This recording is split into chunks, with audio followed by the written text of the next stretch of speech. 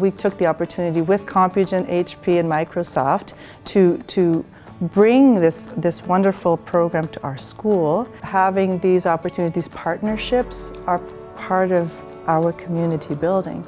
It's not just about me and the teachers and the students, so I welcome these opportunities for our community because we can't do it on our own. Last year we were gifted these laptops from uh, Compugen and HP, which we're really thankful for. And this really did help us um, get to know things that we didn't get to know before were just textbooks. It really let us uh, know more things with math and history and geography and whatever we needed to use it for. Well, the challenge in my classroom was that we had students here that some of them had opportunities of working technology at home, some didn't. We've had the chance to use Minecraft, and Minecraft, it really implements math with everything without you even knowing. After like a week or so, my classmates, they started to volunteer more, they started to pay attention. They were all excited.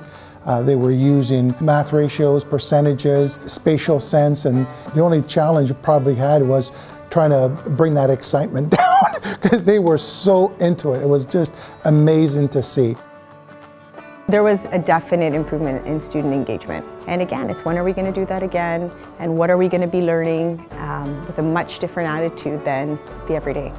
A lot of the students who sort of shied away from math, they were able to find a voice through these cloud books and through Minecraft simply because gaming and video games was a language that they understood and they could share.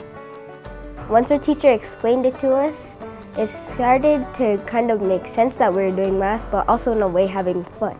Putting a game with learning is makes it more fun because everyone loves to play games and putting that with math, it just makes you want to learn more. We were able to work together as a class in collaboration with technology and, and help the students. There's a lot to be said to have something like this for all our students to engage and to be engaged as learners and also to teach their teachers. I think it's a success all around.